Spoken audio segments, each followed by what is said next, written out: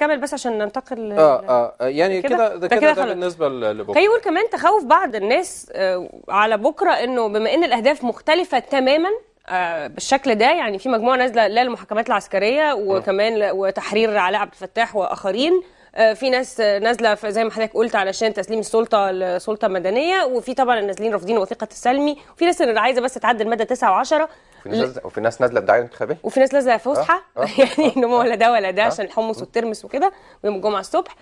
آه، فبالتالي كل الفئات دي نازلة في يوم. آه، اللي هيحصل في الآخر وده تخوف ناس كبيرة إن النقط كلها هتروح للقوى الإسلامية لأن هي الأعلى صوتا الأكثر عددا الأكثر تنظيما. فبالتالي آه، قصدي الأكثر عددا من حيث التنظيم يعني.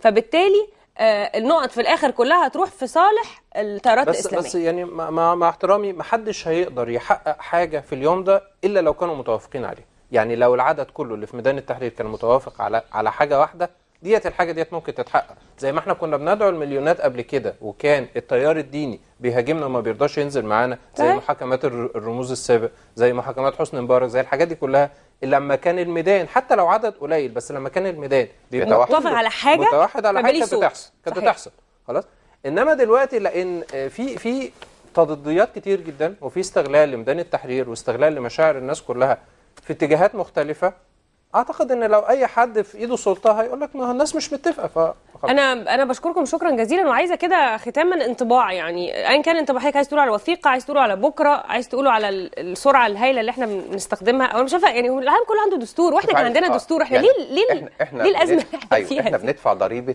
يعني عدم وضع الأولويات بشكل في مكان في مكانها صح. الطبيعي فعلى عشان نخرج من هذا المأزق إحنا محتاجين فعلا توافق حول هذه الوثيقة صحيح. إحنا تقريبا حققنا نسبة 98% توافق حولها آن الأوان إنه يستجيب الدكتور علي السلمي ويعدل صياغه 2% نص. المادة 9 و10 عشان نقفل باب بس فكرة إن الوثيقة عليها عليها خلاف جدال. فيما يخص التظاهر أنا أعتقد إن التظاهر حق كفالته الدساتير كلها بس نبقى عندنا هدف واحد ومحدد وعليه إجماع وطني عشان ما يبقاش يستغل دايما التظاهر في إنه يبعت رسالة سلبية للمجتمع. صحيح. آه، تعليق حضرتك أستاذ محمد عرفات؟ أنا أنا رأيي إن إحنا علشان نحل الأزمة بتاعة الدستور اولا لازم الناس كلها تتوافق على الوثيقة.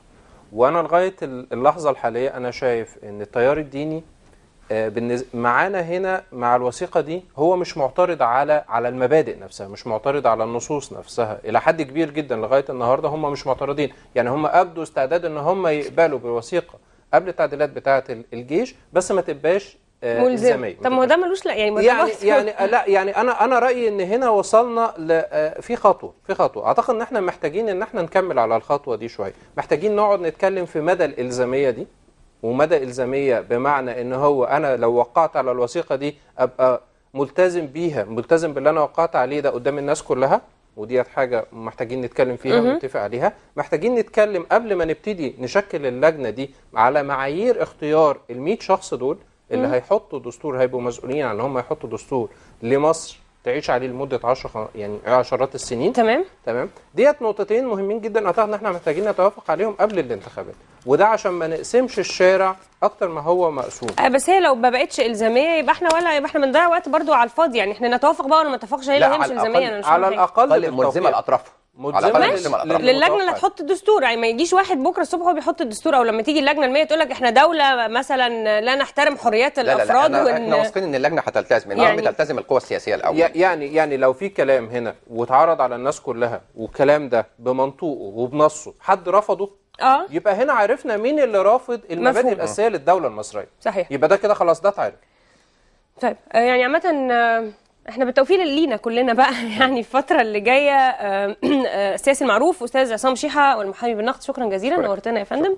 آه، أستاذ محمد عرفات عضو الهيئة العليا بالحزب المصري الديمقراطي الاجتماعي نورتنا وشكرا جزيلا على وقتكم ميرسي على كل الأحوال نازلين بكرة أو مش نازلين بكرة أنا بطلب من كل واحد نازل بكرة يبقى عارف إنه هو مؤثر. يعني زي ما صوتنا كده أمانة في الانتخابات وجودنا بكرة في المظاهرة مؤثر. ففكر كويس عايز تنزل ليه أو مش عايز تنزل ليه.